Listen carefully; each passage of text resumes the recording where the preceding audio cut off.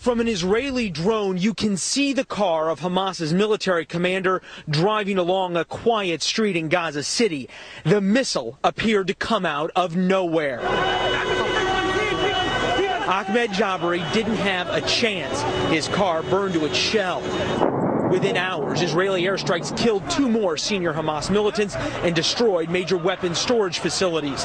The assassination of Jabari marked the start of Operation Pillar of Cloud against Hamas and Islamic Jihad in response to a week of militant rockets launched at southern Israel and the missile attack of an army jeep, as shown in this video provided by the attackers. Eh, at a press conference, Israel's prime minister promised, quote, anything needed to defend our citizens. He continued, we are ready to bring in more forces if needed, alluding to a ground offensive similar to 2008 when Israel sent in tanks for a bloody month-long street-to-street battle against Hamas fighters.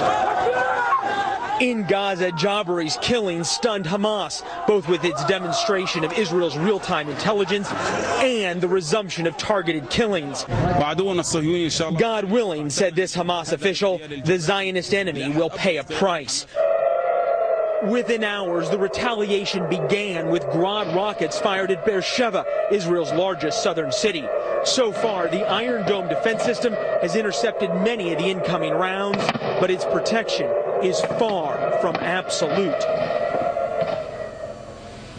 Hamas says that Israel, quote, opened the gates of hell with their attacks, but Israel's strikes may have crippled one of the militant group's main trump cards. That's rockets that can fly from here on the Gaza Strip up to Tel Aviv. Tonight, the sound of F-16 fighter jets is in the air as they continue to bomb Gaza. It is 1:20, 1:30 in the morning here right now.